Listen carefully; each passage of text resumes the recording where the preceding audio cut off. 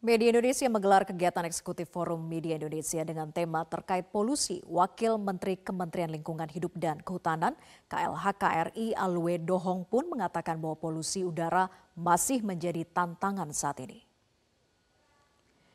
Berbagai upaya telah dilakukan pemerintah untuk mengatasi polusi yang terjadi khususnya di perkotaan, di antaranya uji emisi bagi setiap kendaraan dan program Nationally Determined Contributions. Alwedo Hong berharap Indonesia dapat mencapai net zero emission di sektor kehutanan pada 2030, namun tentu butuh kolaborasi dari setiap sektor dan stakeholder untuk mewujudkan Indonesia tanpa polusi.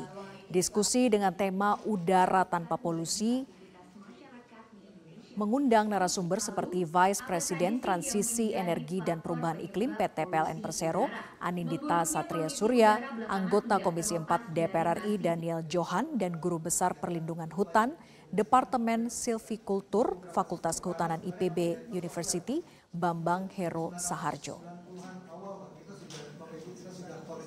Soalan polusi udara masih tantangan juga di negara kita. Karena apa? Polusi udara ini juga ditentukan oleh berbagai faktor. Salah satu faktornya adalah faktor kimia, fisika, meteorologi, bahkan juga geografi ya, termasuk di dalamnya faktor musim ya.